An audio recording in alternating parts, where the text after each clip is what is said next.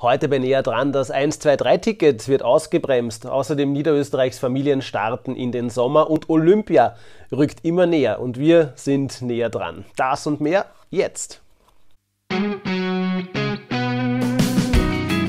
Näher dran, die Niederösterreich News Show mit Christian Trinkel.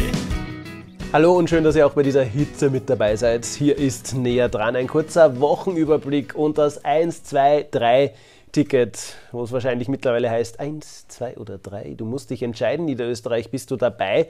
Es geht einfach nichts weiter. Das Prestigeprojekt der Grünen in der Regierung kommt nicht voran und es geht wieder mal ums Geld und um ein bisschen gekränkte Eitelkeit im Burgenland. Die Ostregion, der VOR, der Verkehrsverbund der Bundesländer gemeinsam, will einfach mehr Geld vom Bund als Ersatz. Das Burgenland hingegen findet es gar nicht so lustig, dass seine Pendler das volle Geld zahlen müssen über 1000 Euro, das Dreierticket also brauchen, wenn sie vom Burgenland über Niederösterreich nach Wien fahren, während die Niederösterreicher mit 365 Euro weniger in die Bundeshauptstadt kommen. Da wird noch einige Zeit herumdiskutiert werden.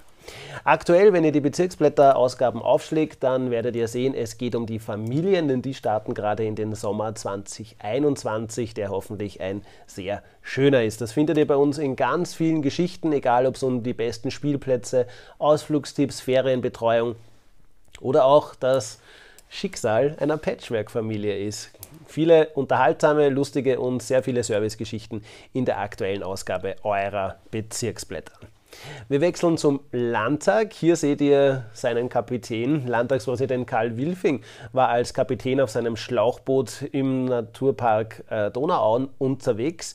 Ähm, vorher allerdings noch, am letzten Donnerstag, hat er die Abgeordneten im Landtagsschiff unter Kontrolle gehabt. Die haben sich noch einmal vor den Sommerferien getroffen. Für uns wie immer mit dabei war meine Kollegin Karin Zeiler. Und Karin, was ist denn diesmal im Landtag beschlossen worden? Ja, Christian, 300 Millionen Euro werden bis zum Jahr 2030 in die Pflege investiert und dadurch werden 650 neue Pflegebetten etabliert. Das heißt, Jubel bei der ÖVP, es war deren Antrag. Jubel auch bei den Freiheitlichen, denn äh, die niederösterreichische Blackout-Gesamtstrategie hat Anklang gefunden im äh, Landtag und so auch dieser Beschluss einstimmig. Kritik gibt es allerdings an den Plänen, die Straßenbauprojekte in Niederösterreich zu stoppen, die vom Verkehrsministerium gekommen sind. Die SPÖ ist überhaupt jetzt der Meinung, die Verkehrsministerin sollte doch bitte zurücktreten. Zurücktreten? Fragezeichen. Beamtenbashing? Fragezeichen.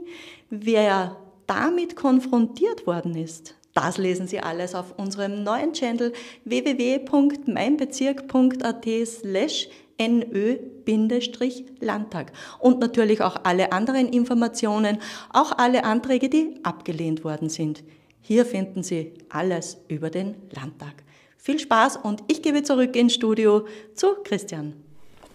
Danke, Karin, und schön, dass du immer alles für uns aufbereitest, was sich politisch im Land so tut. Und während wir alle dem Finale der Euro entgegenfiebern, steht das nächste Großereignis schon kurz bevor Olympia 2020, auch ein Jahr später quasi, in Tokio. Am Donnerstag dieser Woche werden unsere blau-gelben Sportler verabschiedet, die sich auf die Reise nach Asien machen. Und wir sind heuer ganz nah dran an Ihnen. Genauer gesagt, unser Mann, wenn es um Sport bei den Bezirksblättern geht. Mein Kollege Werner Schritt-Wieser. Werner, du bist heuer quasi unser Mr. Olympia. Äh, was planst du denn alles Schönes? Ja, lieber Christian, mit einem Jahr Verspätung ist es nun endlich soweit und die Olympischen Sommerspiele in Tokio gehen über die Bühne. Nur noch wenige Tage und unsere 15 niederösterreichischen Sportler fiebern bereits ihren Einsätzen in Tokio entgegen. Wir stellen euch diese Sportler bereits im Vorfeld vor und versorgen euch während der Spiele dann mit allen Infos, Ergebnissen und Hintergrundstories.